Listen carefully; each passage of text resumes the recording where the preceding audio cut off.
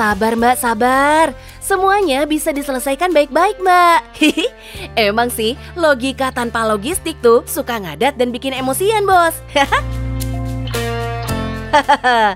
Makanya sini deh, tim cuan ajakin melipir ke tempat yang super unik di Jogja. Yang konsepnya kandang sapi. Tapi makannya, beh, ngaduk-ngaduk semangat makan.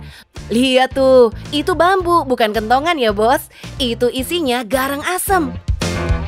Kebayang tuh, kuah ayam yang gurih pedas dan biasanya disajikan dalam bungkus daun, sekarang disuguhkan mendidih dalam bambu panjang. Aromanya super duper sedep banget. Jadi jangan protes kalau nggak kebagian ya. Karena si ayam dalam bambu ini most wanted banget. Sampai antri-antri yang mau ngicip. Halo bos, saya bangun resto ala kampung ini dari 2017 tapi baru kali ini viralnya. E, mau tahu kenapa? Saksikan terus di Cuan Bos.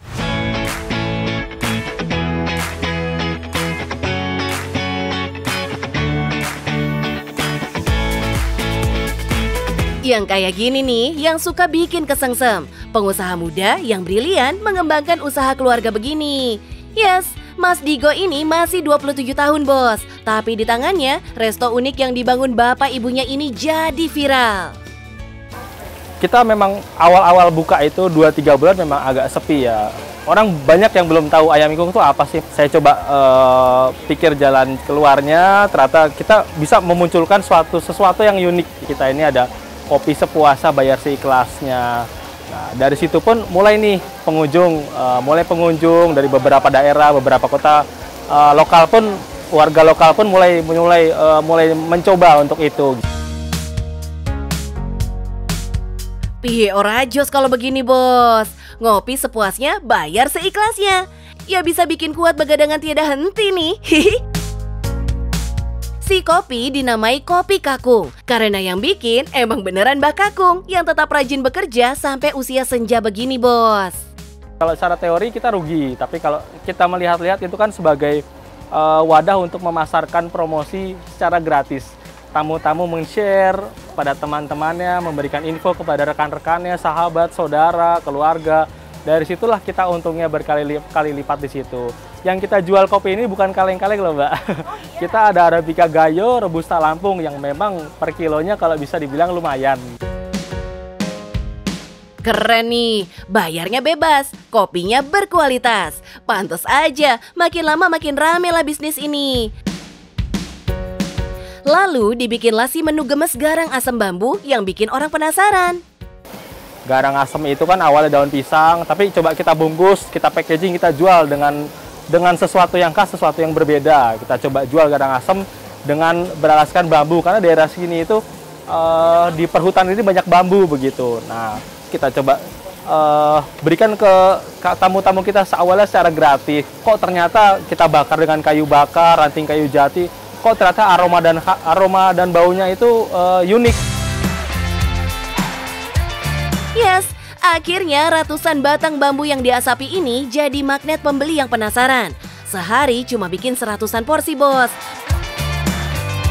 Makanya, kudu pesen dulu nih. Kalau nggak reservasi, ya siap-siap sayonara aja. Bos, ini dia nih yang lagi hits di kandang ingkung. Ada garang asem bambu permintaan di sini tuh sampai 200 lebih, sedangkan uh, kita hanya menyediakan 100 sampai 120. Jadi ini eksklusif buat teman-teman semua. Wih, wih, peminat membludak bos.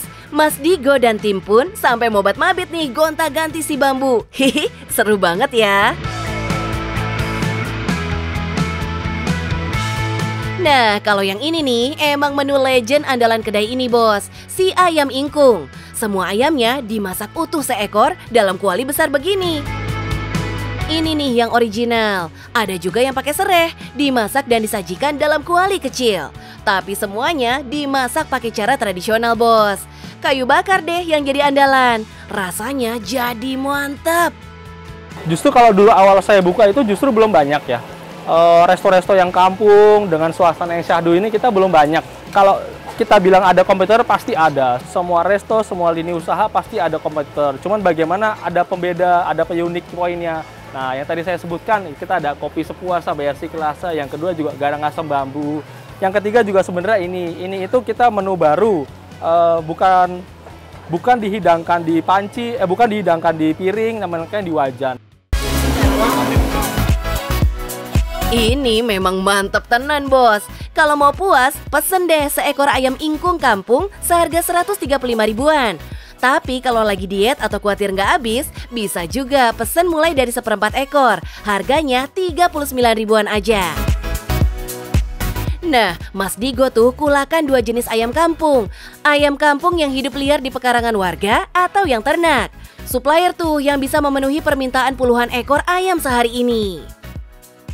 Dari ayam itu kita sehari itu bisa rata-rata habis 50 sampai 80 ekor karena kita mengusung resto keluarga, jadi tamu itu banyak memesan langsung satu ekor, satu ekor begitu.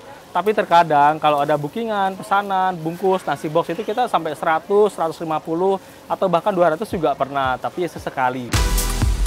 Wedian kan, sampai 200 porsi ludes bos. Kebayangkan kalau dihitung-hitung, anggaplah 80 ekoran ayam habis tiap hari, seharga 135 ribuan. Artinya kan sehari masuk hampir 11 jutaan. Lah kalau sebulan, lebih deh dari 300 jutaan bos. Wedian. Itu baru dari ayam aja ya bos, belum garang asam bambunya, gorengannya, minumannya, beh. Mas Digo emang gak setengah-setengah membesarkan bisnis ini. Hasilnya, si Hidden Gem ini survive loh, walaupun sempat tutup total di masa pandemi. Bahkan angka penjualan melonjak tinggi, melebihi sebelum pandemi. Hikmahnya, Mas Digo jadi gandeng sekalian ibu-ibu di sekitar lokasi untuk kerja bareng di sini. Wah, jadi bikin lapangan kerja baru nih. Salut! Halo bos, siapa bilang generasi muda tidak bisa membangun bisnis? Buktinya saya. Yang penting cuan bos.